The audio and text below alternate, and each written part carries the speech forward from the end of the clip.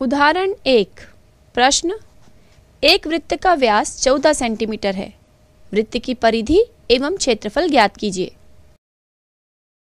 इस प्रश्न में एक ऐसे वृत्त की परिधि एवं क्षेत्रफल ज्ञात करना है, जिसका व्यास 14 सेंटीमीटर है। तो वृत्त का व्यास बराबर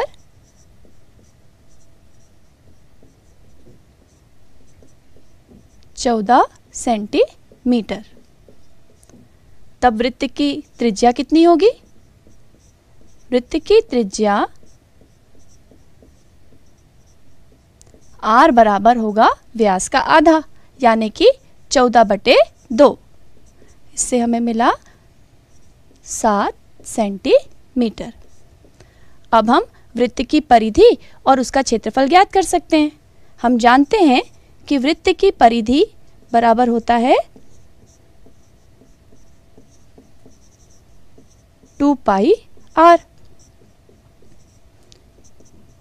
Two pi का मान हम लिख लेते हैं। बाईस बटे सात और त्रिज्या का मान होगा सात सेंटीमीटर। सरल कर लें इसे। सात एकम सात सात एकम सात। हमें क्या मिला? दो गुणित बाईस। इसका परिधि हमें मिल गई वृत्त की परिधि बराबर चौवालीस सेंटीमीटर। चलिए, अब हम वृत्त का क्षेत्रफल ज्ञात कर लेते हैं। वृत्त का क्षेत्रफल बराबर होगा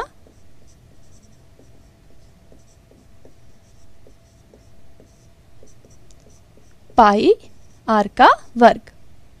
पाई का मान रख लें। बाईस बटे सात और त्रिज्या हमारे पास है सात सेंटीमीटर तो हो गया सात का वर्ग। इसे सरल करने के लिए हम सात के वर्ग को लिख लेते हैं, सात गुणित सात। सात एकम सात सात एकम सात। हमें क्या मिला? बाईस गुणित सात, जिसका मान होगा एक सौ चौवन वर्ग सेंटीमीटर। तो इस प्रकार हमें वृत्त की परिधि प्राप्त हुई चौवालीस सेंटीमीटर और वृत्त का क्षेत्रफल मिला एक सौ चौवन वर्ग सेंटीमीटर।